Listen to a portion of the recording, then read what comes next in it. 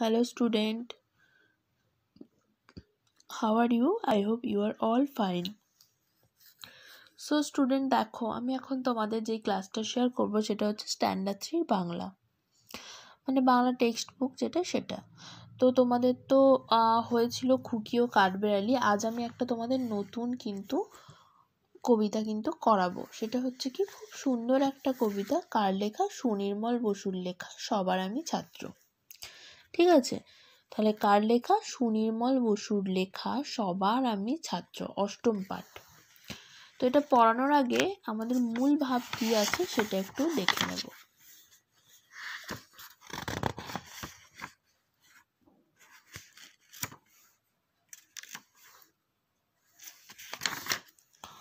দেখো কি বলেছে। সুনির্মল বসু কি এই কবিতাটার মধ্যে ফুটিয়ে তুলেছেন বা কি তুলতে চেয়েছেন সেটাই আমরা একটু শর্টকাটে বুঝে নেব। সেটা হচ্ছে কি বলেছে?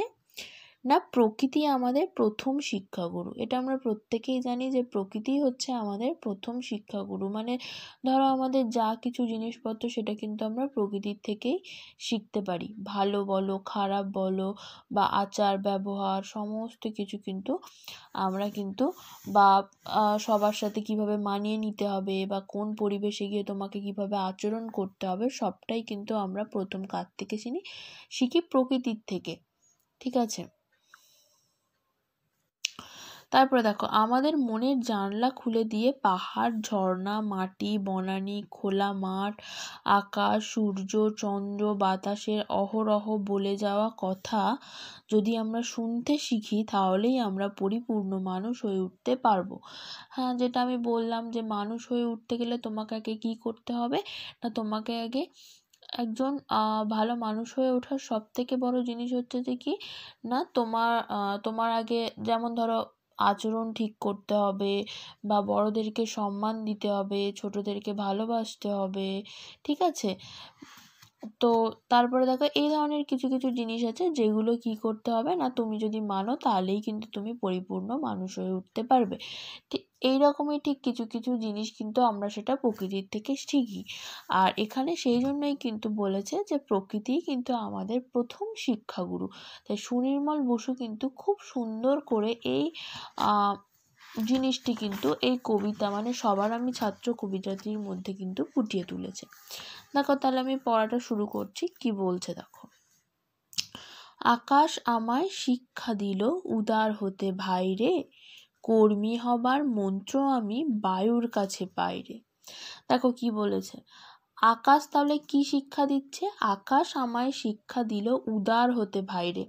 মানে উদার উদার মানে কি? যে তুমি ধরো কোনো গরিব মানুষের প্রতি তোমাকে যে একটা মায়া দেখাতে হবে বা কোনো গরিব মানুষকে সাহায্য করতে হবে বা কেউ বিপদে পড়লে তাকে সাহায্য করতে হবে, এই মানসিকতা কিন্তু তোমাকে রাখতে হবে। তো সেই জন্যই বলছে যে এই আকাশ আমায় এই ধরনের কিন্তু শিক্ষা দিল মানে উদার হতে কিন্তু শিক্ষাটা দিল। তারপরে দেখো, কর্মী হবার মন্ত্র আমি বায়ুর কাছে পাইরে কর্মী মানে কি দেখো? কর্মী মানে হচ্ছে যে আমরা যদি কোনো কিছু ব্যাপারে সাকসেস চাই বা আমরা যদি ভাবি যে আমরা এই কাজটা এই কাজটা সাকসেসফুলভাবে করব, সেখানে কিন্তু আমাদের কি করতে হবে? না, আমাদের কিন্তু পরিশ্রম করতে হবে। পরিশ্রমটা কিন্তু আমাদের একমাত্র চাবিকাঠি সাকসেস হওয়া। সেটা তুমি পড়াশোনায় বলো বা একটা খেলাধুলা বলো, একটা কম্পিটিশন বলো যে কোনো কিছু। তুমি তো আর বসে বসে সেখানে উইনার হতে পারবে না। তোমাকে কি করতে হবে? তার জন্য পরিশ্রম করতে হবে। সেটাই এখানে বলেছে যে, কর্মী হবার মন্ত্র আমি বায়ুর কাছে পাইরে নেক্সট লাইন দেখো, পাহাড় শিখায় তাহার সমান হই যেন ভাই মৌন মোহান। তাহলে আকাশ শেখালো কি? উদার হতে। কর্মী হওয়ার মন তো কার কাছে শিখলো? বায়ুর কাছে শিখলো। এবার দেখো, পাহাড় কি শেখাচ্ছে? পাহাড় শেখাচ্ছে যে তার মতো যেন তার মতো যেন কি হয়? পাহাড় শেখায় তাহার সময় হই যেন ভাই মৌন মহান। মৌন মহান মানে হচ্ছে কি? তোমাকে মহান হতে হবে। ঠিক আছে? পাহাড়ের কাছ থেকে কিন্তু তুমি মহান হওয়ার শিক্ষা পাচ্ছ। মহান হওয়ার শিক্ষা মানে হচ্ছে মহান ব্যাপারটা মানে কি? ওই যে বললাম যে গরিবদের কোনো মানুষ যদি বিপদে পড়ে তাদের সাহায্য করা বা গরিব মানুষকে সাহায্য করা, এই ধরনের জিনিসপত্র কিন্তু তোমার তুমি কার কাছ থেকে শিখছো? পাহাড় কিন্তু তোমাকে শেখাচ্ছে। তারপর দেখো, খোলা মাঠের উপদেশে দিল খোলা হই তাই রে। সূর্য আমায় মন্ত্রণা দেয় আপন তেজে জ্বলতে। মানে সূর্য কী দিচ্ছে? না, আপন তেজে মানে নিজের তেজে জ্বলতে কিন্তু সূর্য কিন্তু মন্ত্রণা দিচ্ছে। চাঁদ শেখালো হাসতে মেদুর, মধুর কথা বলতে। মানে চাঁদ কি শেখাচ্ছে? যে হাসতে। মানে দেখো, আমরা তো আমাদের কাছে সব থেকে বেশি যেটা দরকার সেটা হচ্ছে কি আমাদের হাসি মুখ, ঠিক আছে? আমাদের যাই হয়ে যাক না কেন, আমাদের হচ্ছে হাসাটা কিন্তু অনেক বেশি দরকারি। সবসময় হাসি মুখে থাকাটা কিন্তু একটা পজিটিভ ব্যাপার, ঠিক আছে? আর মধুর কথা বলতে, তুমি দেখবে যে কিছু কিছু মানুষ আছে যাদের মুখের ভাষা একদমই ভালো নেই। ঠিক আছে? তো সেখানে তাদের কাছে কিছু মানুষ যাওয়ার থেকে দেখবে, যারা দেখবে খুব সুন্দর করে কথা বলে বা মধুর করে কথা বলে, মিষ্টি করে কথা বলে, মানুষ কিন্তু তাদের সাথেই বেশি কিন্তু মিশতে চায়। সেই জন্যে বলছে যে, চাঁদ শেখালো হাসতে মৃদুর মানে সর্বদা হাসতে বলছে এবং মধুর কথা বলতে কিন্তু চাঁদ শেখাচ্ছে। নেক্সট দেখো কি বলছে, ইঙ্গিতে তার শিখায় সাগর, অন্তরে হোক রত্ন আকর। নদীর কাছে শিক্ষা পেলাম আপন বেগে চলতে। নদীর কাছে আপন নিজের বেগে চলতে কিন্তু শিক্ষাটা পেল।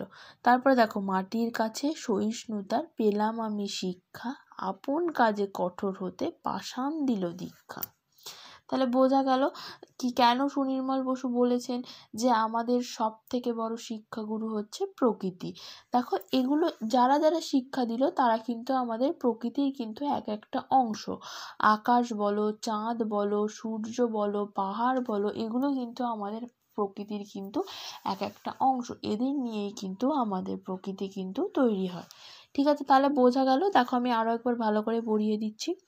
আকাশ আমায় শিক্ষা দিল, উদার হতে বাইরে, কর্মী হবার মন্ত্র আমি বায়ুর কাছে পাইরে।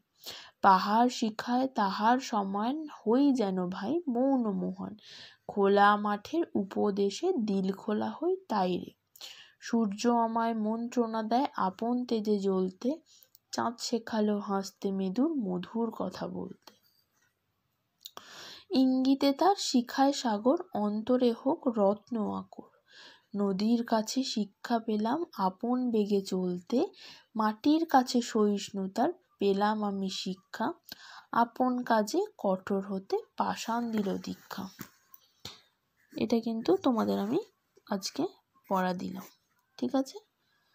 তাহলে আজ এইটুকুই থাক tata have a nice day thank you